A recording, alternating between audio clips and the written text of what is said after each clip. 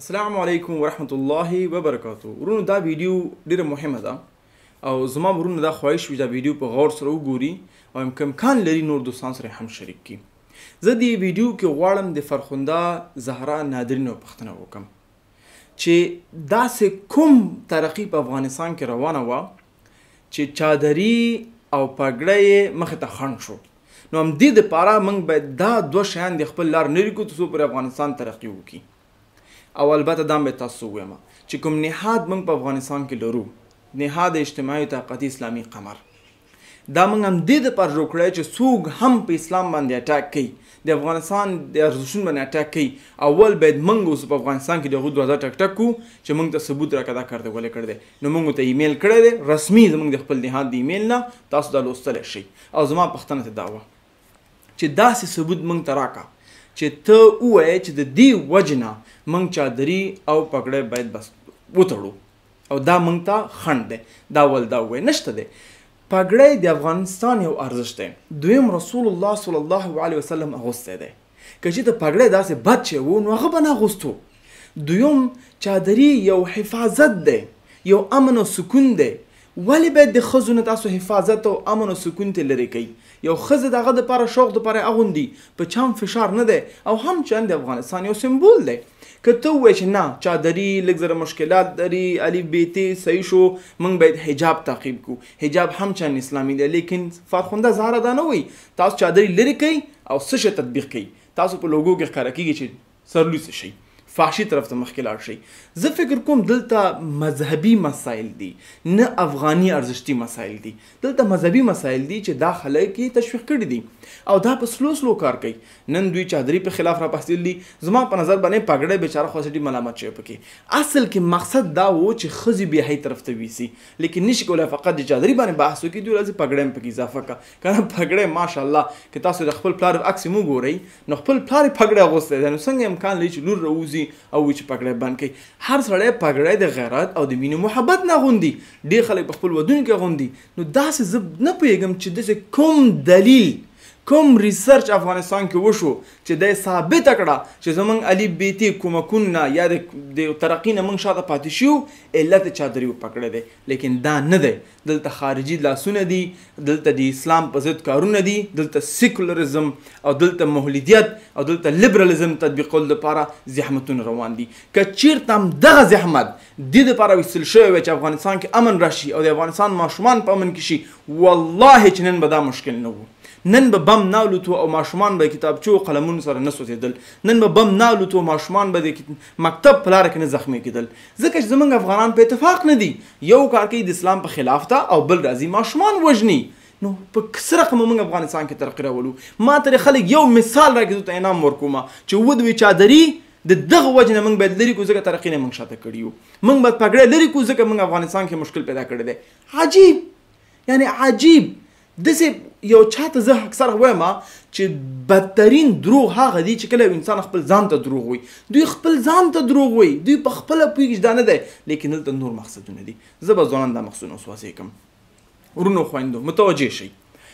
میډیا او داسې اعمال څنګه کار کوي زه په دې ډارېږم چې دا زمونږ د رئیس جمهور مشاوره ده نو ایا زموږ رژیمونو ته به داسې مشورې ورکوي؟ چادري وپکړی او د خلکو نه حیا لرې کړه، بې شیايي ورته کړه. زه امید لرم چې افغانستان کې زموږ غوندې نهادونه او همداسې ځوانان، علما، د دوی په خلاف ودرېږي او دا پښتنه ترې وکړي چې ثبوت راکړه، څه ثبوت لرې چې موږ باید دا لرې کړو، کوم ریسرچ دې کړی دی؟ او فکر کوم چې ما پژواک کې یو نیوز هم ولوستو چې پارلمان په ده باندې عکس العمل ښکاره کړی دی او دوی به کېدای شي څارنوالي ته هم معرفي کړي. اوس به راځم بیرته موضوع ته میډیا او داسې اعمال څنګه کار کوي دوی لکه نه غواړم شیطان سره مشابه کما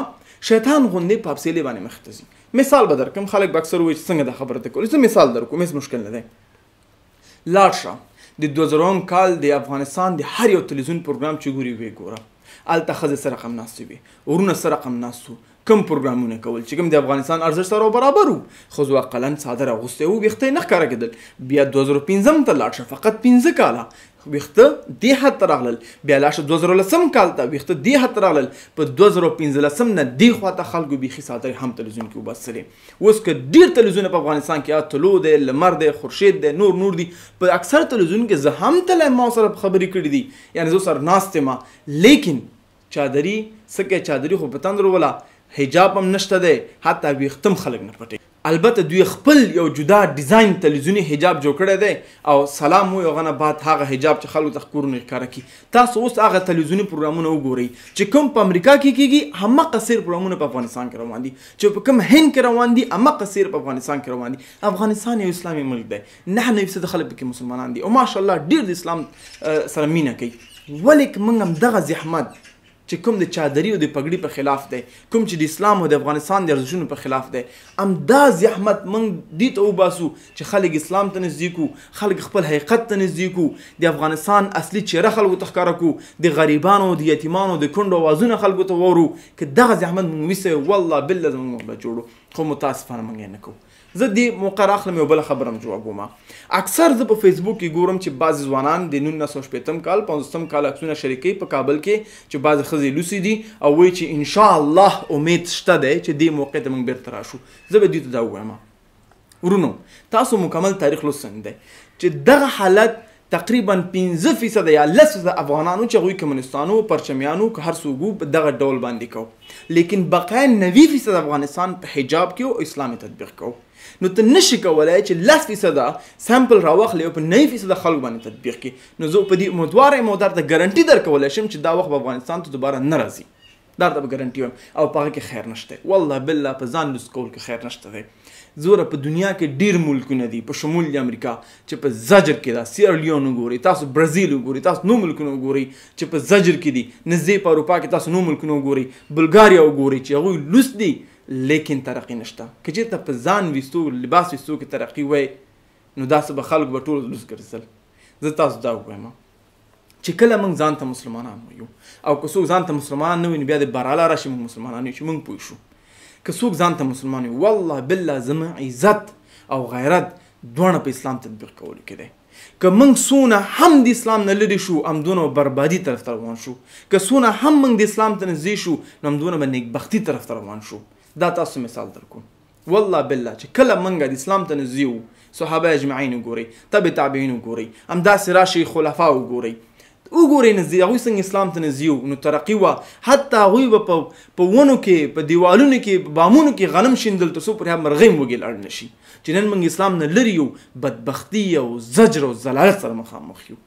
زه هم دې خور نه خواهش کوم اول د توبه وباسي او د افغانستان د خلکو نه د معذرت غواړي چې کوم بد عمل کړی دی که دا نه وباسي په خپل خبره ولاړ ده نو من قمر انسټیټیوټ د اسلامي پلټنو او د اجتماعي پلټنو لپاره په افغانستان کې موقعیت لري راشه موږ سره مذاکره وکوه او زه ټول مصارفات ورکوم راشه موږ سره مذاکره وکړه او ثبوت کا چې ولې باید د افغانستان د حقیقت نه او د افغانستان د ارزښتونو نه چادري او پګړه لري شي بیا ان شاء الله موږ سره منو هغه نه بغیر باید موږ ټول معذرت وغواړي چې تا اشتباه کړې ده زموږ ارزښتونو ته به احترامي کړې ده